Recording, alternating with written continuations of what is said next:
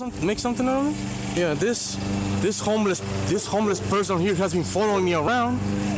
Let's see what she wants. What do you want? Why are you following me? Why are you following me? You went all the way over there on the other side of the street and you follow me. Is there something you need?